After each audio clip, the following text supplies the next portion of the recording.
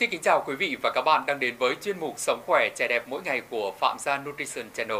Thưa quý vị và các bạn, với mong muốn cung cấp cho quý vị và các bạn những thông tin bổ ích, khoa học từ các chuyên gia dinh dưỡng cũng như các bác sĩ, chuyên mục Sống khỏe trẻ đẹp mỗi ngày của chúng tôi đã ra đời với hy vọng cung cấp cho quý vị và các bạn những thông tin thật bổ ích. Và trong chuyên mục ngày hôm nay, xin mời quý vị và các bạn sẽ cùng đến với thông tin ngày sau đây. 50% người dân Việt Nam thiếu vitamin D. Vậy vai trò của vitamin D là gì và cách bổ sung hiệu quả ra sao? Chúng ta sẽ cùng tìm hiểu trong chuyên mục ngày hôm nay. Thưa quý vị và các bạn, thiếu vitamin D có thể làm tăng mức độ nặng khi mắc COVID-19 bởi trong cơ thể, vitamin D là những viên gạch tạo nên hàng rào miễn dịch, kháng virus, kháng khuẩn, giảm tình trạng viêm quá mức nguy hiểm. Vitamin D quan trọng với cơ thể như thế nào? Vitamin D giúp ngăn chặn sự xâm nhập và nhân lên của virus, cũng như giúp hệ miễn dịch nhận diện, thích nghi và có phương án tấn công với những tác nhân có hại này. Vì thế, vitamin D có thể giúp trẻ em và người lớn giảm nguy cơ mắc bệnh thường gặp như cúm, các bệnh hô hấp như viêm phế quản, viêm phổi đến các bệnh mãn tính như lao, hèn suyễn, kể cả bệnh phổi tắc nghẽn mãn tính COPD. Virus SARS-CoV-2 sử dụng một men tên là ACE2 để xâm nhập qua hàng rào bảo vệ của tế bào thần kinh, làm nguy cơ tai biến mạch máu não, rối loạn giấc ngủ, lo âu, trầm cảm. Đối phó với tình trạng này, vitamin D sẽ có tác dụng giảm tổn thương thận, phổi, đồng thời bảo vệ não, góp phần chống thoái hóa não và hỗ trợ phục hồi não. Ngoài ra, vitamin D sẽ điều chỉnh và làm giảm các phản ứng viêm quá mức như bão cytokine gây tử vong ở bệnh nhân nặng. Làm thế nào để biết cơ thể đang thiếu vitamin D? Vitamin quan trọng như vậy, nhưng tỷ lệ người dân Việt Nam thiếu vitamin D vẫn lên tới 50%. Người thiếu hụt vitamin D chủ yếu là dân văn phòng, trẻ em, người béo phì, hút thuốc lá, mắc bệnh mãn tính như tim, mạch, dạ dày, viêm đường tiêu hóa. Trong bối cảnh dịch COVID-19 hiện nay, không chỉ người lớn mà trẻ em cũng ở trong nhà thường xuyên, ít tiếp xúc ánh nắng mặt trời, nguy cơ thiếu vitamin D càng tăng thêm.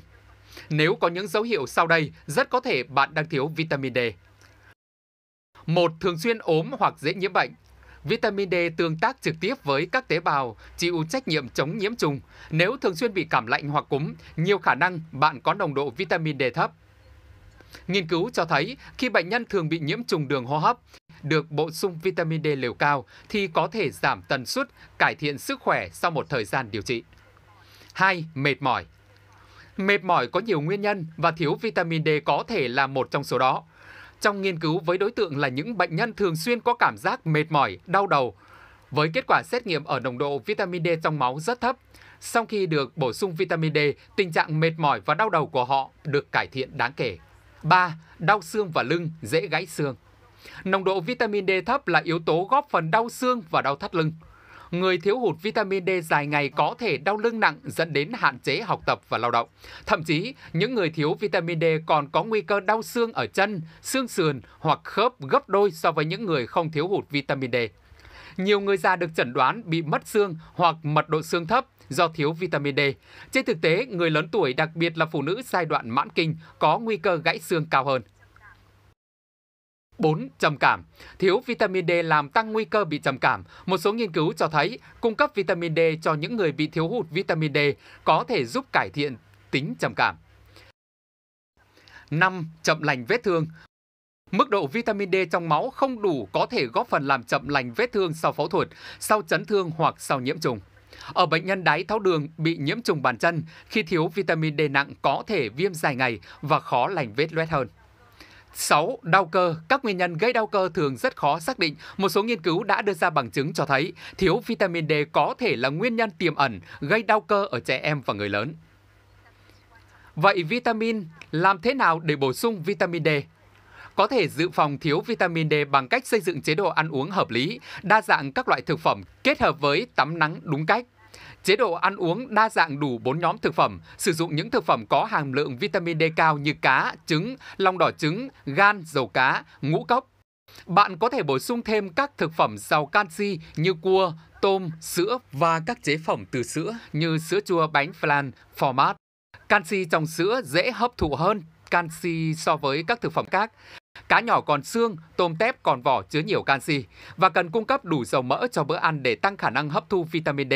Ngoài ra, chế độ ăn cần có đủ chất đạm, vitamin và khoáng chất như magie, kém, tỷ lệ canxi-phốt pho cân đối, giúp hấp thu canxi một cách tối đa.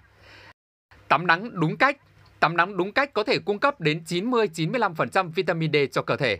Nên tắm nắng trước 8 giờ sáng mỗi lần từ 15 đến 20 phút và khi tắm nắng bạn nên chọn nơi thoáng mát, nhiều ánh sáng. Cần đội mũ, đeo kính sâm để ánh nắng chiếu trực tiếp vào cơ thể, không nên sử dụng các loại kem bôi da trong thời gian tắm nắng. Đối với trẻ em, cần được tắm nắng hàng ngày ngay từ tháng đầu tiên sau sinh, để lộ chân, tay, lưng, bụng, ngực cho da tiếp xúc với ánh nắng mặt trời. Bổ sung vitamin D liều cao. Giải pháp lúc này là bổ sung vitamin D liều thấp dự phòng, dùng đều đặn hàng ngày hoặc định kỳ, cứ 3 đến 6 tháng dùng liều cao một lần. Việc bổ sung vitamin D cho những trường hợp bị thiếu hụt nặng như vậy không chỉ giúp cho cơ thể tăng sức đề kháng mà còn tốt hơn cho xương, cơ bắp và hệ thần kinh. Bạn có thể bổ sung bất cứ thời điểm nào trong ngày, nhưng tốt nhất là ngay trước, trong hoặc sau bữa ăn có nhiều chất béo thì sẽ tốt hơn, vì vitamin D tan trong dầu. Lưu ý là cơ thể thừa vitamin D có thể gây biếng ăn. Vitamin D chỉ thực sự có lợi khi được bổ sung cho những trường hợp đang thiếu vitamin D.